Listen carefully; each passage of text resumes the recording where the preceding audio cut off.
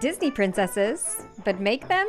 1920s. Now I'm not typically into 1920s fashion, so this will be a challenge for me, taking Cinderella's iconic blue dress and turning it 1920s. Starting off with our base, this insanely gorgeous 1920s inspired dress by this designer Nataya. Not 100% going for historical accuracy here, but one thing I did not want to do was turn her into a flapper girl. I wanted to go for a more elegant, kind of refined look. We have to add the very quintessential 1920s heel, the Mary Jane. This is called the Marjorie in blush pink from American Duchess, and they are based on a real heel from the 1920s. To give the illusion of a 1920s bob, I'm gonna pull the majority of my hair back. In order to actually make this Cinderella, I definitely need a blue headband, and I have this really beautiful feather piece from Babeyond, which I think adds a 1920s touch. Another Cinderella essential is her little black choker, although I didn't have beads, so I decided just to use a ribbon. Tiny little bead bag, and here is the final results. Which Disney character and decade do you wanna see next?